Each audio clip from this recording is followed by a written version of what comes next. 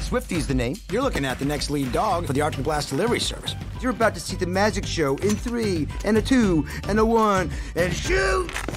Swifty? I think I'm pulling uphill. Are we uphill?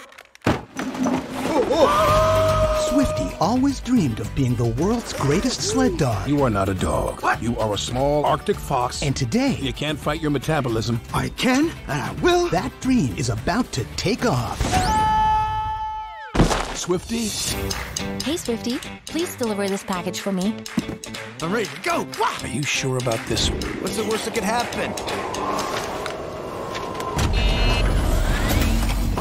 Good morning! I'm here to destroy your town, Whoa. to unleash the power of an ancient gas! Let's go!